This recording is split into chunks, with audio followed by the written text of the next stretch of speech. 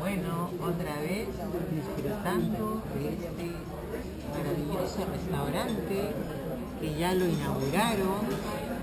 Y bueno, lo que más me ha impresionado, aparte de esta delicia, desayuno sencillo, pero tú sabes el croissant es un pan muy especial, que así nomás no lo encuentras en ninguna parte del mundo. Entonces deben de haber contratado quizá algún panadero francés. Pero lo que más me ha gustado de todo esto es el frío.